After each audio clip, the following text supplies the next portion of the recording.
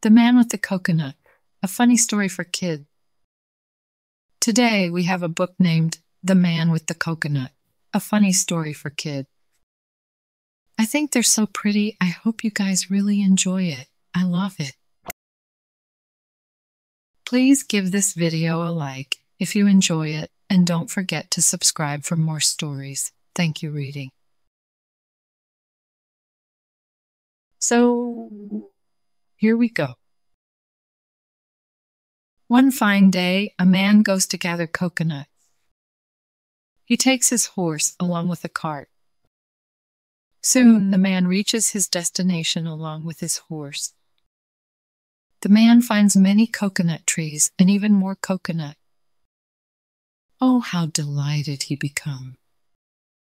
He gathers as many coconuts as fast as he could. Quickly he loaded all of them onto his cart. I gather more than I expected to, he says. After gathering and loading his horse cart, he begins his journey back home. But by the time the man came to the main road, it was already afternoon and his home was quite far. As he was slowly making his way back home, the man met a young boy. How long do you think it will take me to reach my home?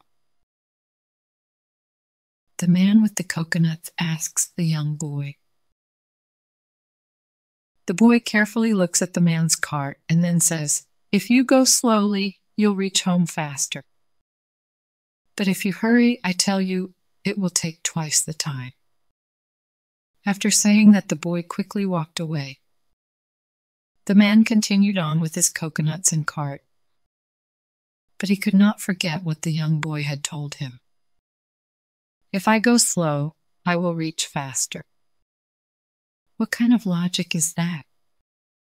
He wondered and wondered and never found an answer. Meanwhile, he rushed his horse.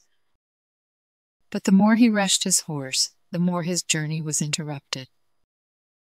You see, when the horse was rushed, many a coconut fell off the cart, the man had to stop and pick them again. Again and again, the man rushed his horse. And again and again, the man had to stop to gather the coconuts that fell off. Finally, late at night, the man reached his home. Only after reaching his home later than expected, he understood what the little boy had meant. The end. Good job, friends. Thank you so much for reading with me. Bye, I'll see you next time.